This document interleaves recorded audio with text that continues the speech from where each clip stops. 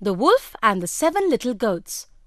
Once upon a time, a goat who had seven young children had to go into forest to fetch some food. So she called the little goats and said, Dear children, I am going to the forest. Beware of the wolf. If it comes here, it will eat you. It may try to cheat you, but you will recognize it by its terrible voice and black paws. The little goats replied, Don't worry, mother, we will take care. After their mother left, there was a knock at the door